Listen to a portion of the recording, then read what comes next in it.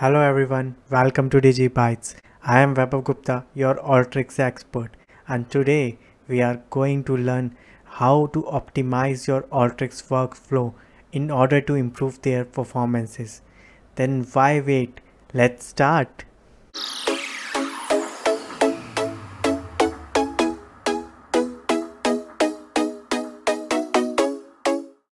There are various ways through which you can improve your Alteryx workflow performance. Let's understand them one by one. First is performance profiling option. You can see the Alteryx screen.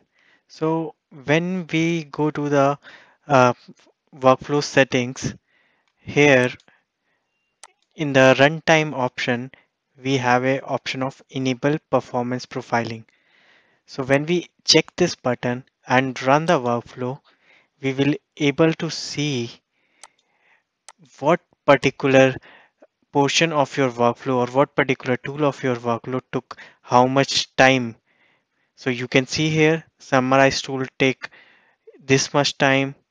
Similarly input tool took this much time. Similarly browse tool and so on. So in this way you will be able to analyze which particular portion of your workflow took the maximum time in execution. And accordingly based on this analysis you can try to optimize that particular section of workflow which is consuming most of the time uh, while execution. So this is the first way of analyzing that how you can see which portion of your workflow is taking or consuming maximum time and uh, you can start working on optimizing that particular section. Second thing that you can do to optimize your workflow is disabling the browse tools. Again, you have to go into the runtime setting and here you have an option where you can uh, completely disable all the browse tools together with checking this option of disable all browse tools. So you can see in the canvas here that all the browse tools have been disabled. So it further enhances the performance of the workflow. Third thing that you can do is you can cache and run certain sets of tools in your workflow. You see in this workflow, I right click on this input tool and uh, here I see an option of cache and run workflow. Let's click on this option. So you see there is a bubble that has been uh, put around this uh, tool. So it indicates that the workflow tool has been cached. So every time when this will run, this will use the data from the cache instead of going to the source, extracting the data and then running the workflow. So when you are doing a lot of testing or you are doing a lot of uh, rigorous changes and testing out your workflow. So this technique will really help you to optimize your workflow and run it again and again in a speedy manner. Fourth thing that you can do to improve or optimize your workflow is to reduce the size of the number of columns and the number of rows that you are taking through different tools in your workflow. If you see on the screen, we have a very small workflow which contains only eight tools. Now, suppose you have a workflow which contains approximately 100 tools and uh, you have a source system which contains 200 columns and 10 lakhs of records.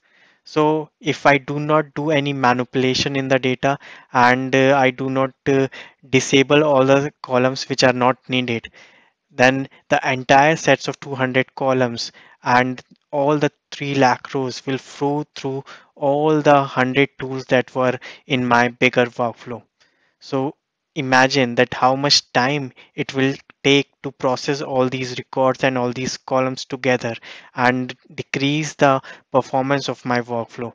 So the best way is that in the starting itself, I will select only those columns which are needed and deselect all other columns.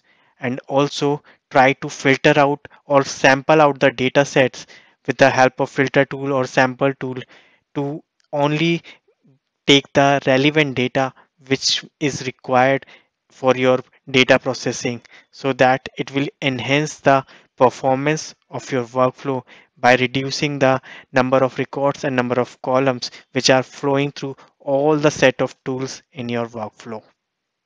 Fifth thing that you can do is logically enabling the containers for your tool sets utilized in the Alteryx workflow. Let's say I divide this workflow into two sections by utilizing the containers.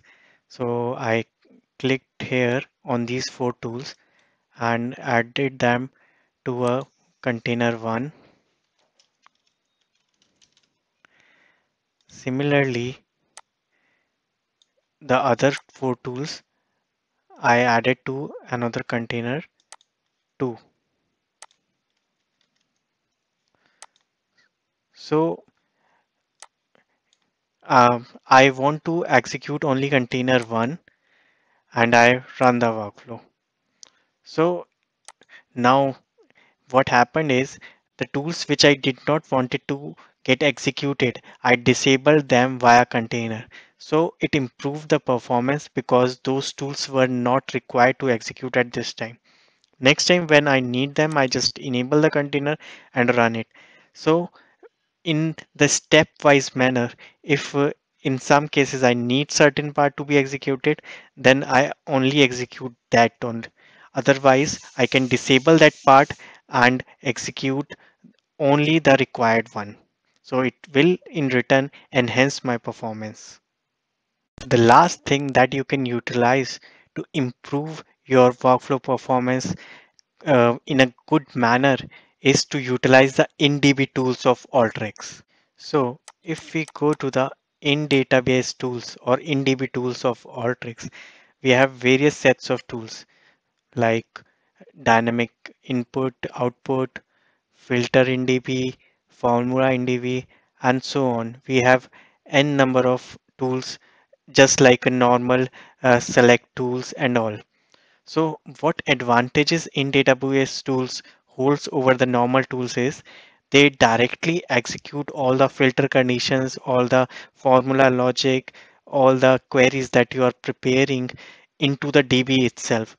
So it's not like you are extracting the data then doing the manipulation. It's like you are directly doing the manipulation in the database itself and then extracting the data which is required for your data processing. So in this way it will really enhance your workflow performance so that you will be able to execute it in much lesser time than while you are extracting data and then doing the manipulations. Hope you all liked all the optimization techniques that we talked during the entire video. And in case you feel any challenges in implementing any of these techniques or you have more suggestions, please reach out to us via mentioning in the comments or writing us on the mail which is given in the description.